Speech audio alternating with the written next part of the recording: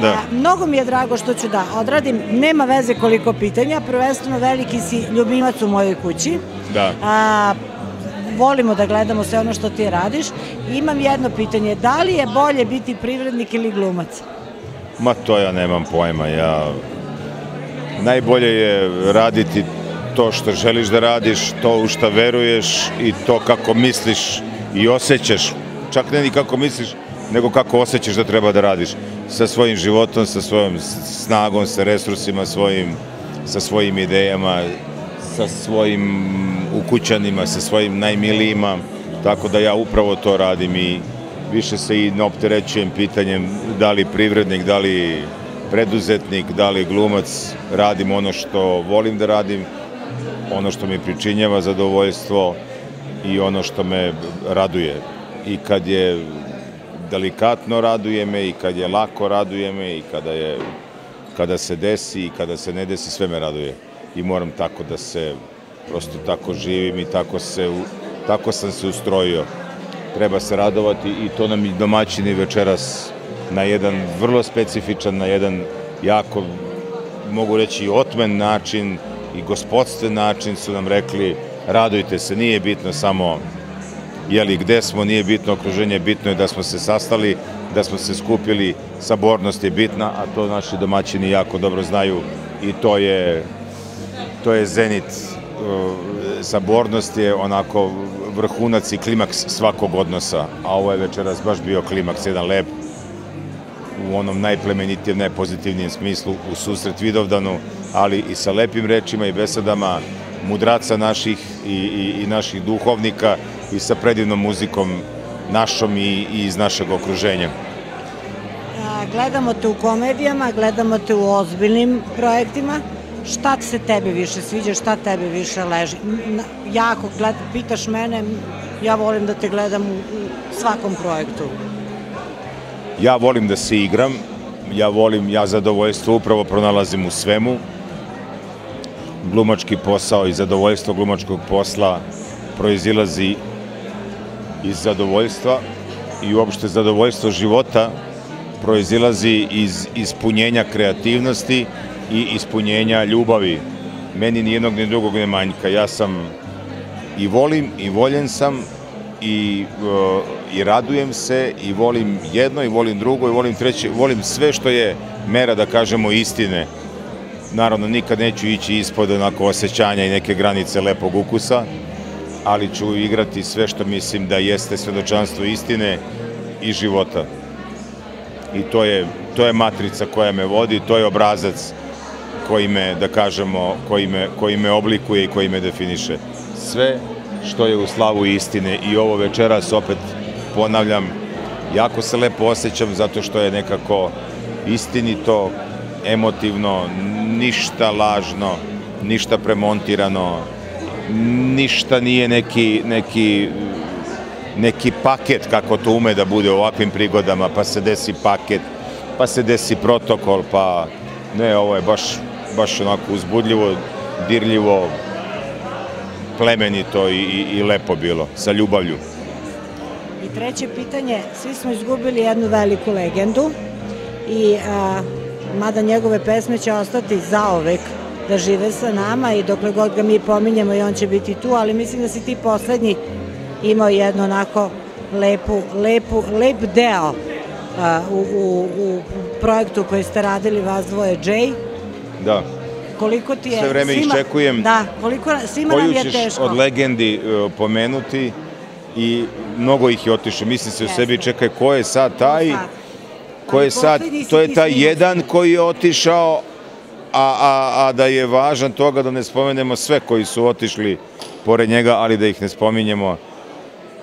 Bog da ga prosti i Bog neka mu podari večnost u njegovom svetu, u, ljubavi koju je živeo, koju je darovao i Bog neka mu oprosti, oprosti sagrešenja koje mu je život nametao i koje mu je i njegova narav i njegova slabost nametala i što kažu gospod neka nas, neka nas sve nastani u večnosti svojoj a ja, meni je jako lepo mi je iskustvo bilo sa njim i mi to nismo ništa, to što ste vi videli, nije to ništa projektovano, ništa to nije režirano. To je bilo duše, jel da? To je nekako išlo spontano to veče, to jest dve večeri i baš je, bilo je spontano i bilo je upravo ono istinito je bilo.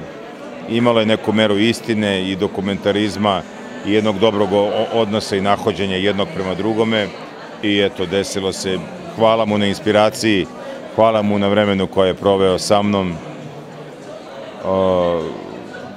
Eto, si svestan toga da ti pokazuju možda i deca i, i prijatelji koliko taj deo vas dvojice koji, koji eto ste negde u nekom veselju svi negde to šerujemo, svi negde to da. negde prikazujemo. Kum na svadbi ili bilo šta, ne, i čak je to i šaljivo i mnogo. Meni je neuzbudljivije bilo to, meni je tu uzbud, najuzbudljivije bilo što ja njemu nisam mnogo morao da objašnjavam.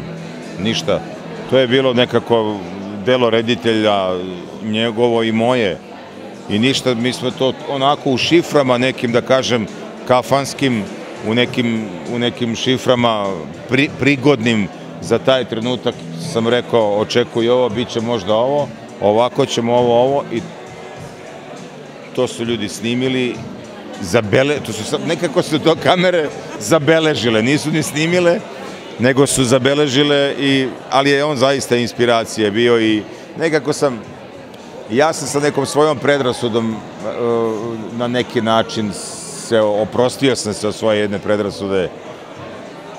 Ja, ja nisam neki ne slušam neku probranu muziku, ali slušam sve onako, sve zanimljivo, sve što, što ima neki emotivni sadržaj koji te uzburkava, koji ti budi damare i sokove u organizmu i u biću i u telu. Ja to nikad nisam osetio na par njegovih pesama, ali u kontekstu ovoga što se desi tom junaku iz filma i njegove pojave i toga što ta pesma njegova govori, To je jedina moguća pesma bila za taj trenutak i za tu scenu.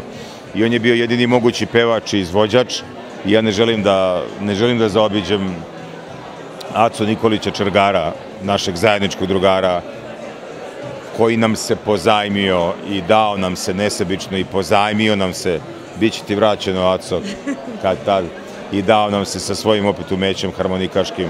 I tako. Ja se radujem da je to Ja se radujem da je se desilo da to postane ono što je što je se meni činilo da jeste na čitanju tog scenarija.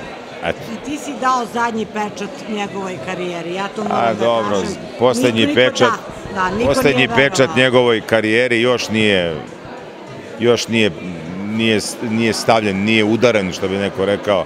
Ja mislim da je on izvođač koji će da traje, on je jedna ona redka emocionalna pojava čak, čak pomalo i nesnađen. Ne znam, ovog, tomu nisam poznavao i mislim svašta se priča o svima i mi smo, mi smo ljudi, mi, mi smo skloni predrasudama i svi verujemo u sve i svi ne, verujemo, ne verujemo ni u šta, ali ovaj, eto ja želim onako, baš želim da ono čemu, onom, onom ishodištu ka kome svi idemo, želim da svima bude olakšanje i da bude novo rođenje i nova večnost. Tako to želim i za, i za našeg dragog Džeja. Eto. Sa Nikolom Đuričkom sam uradila maltene jedan onako od poslednjih intervjua pre nego što je otišao, bio je u Carskom gradu Kruševcu i pitala sam ga zašto za Ameriku i otkuda ta, ta, ta hrabrost. Ja u ovim godinama ne bi smela da se ovaj nekako odem preko bare. Sada ga gledamo, veliki uspeh je ovaj napravio, svaka čast i ono što kažu, veliki ponos za nas Srbe da, da smo bar eto negde postigli takav uspeh. Da li bi smeo sada da onako pokupiš porodicu i idemo? Nije, postoje, sve se sme i ništa se ne sme, ali postoje stvari za koje ljudi procenjuju da su im potrebne, i da su im nepotrebne.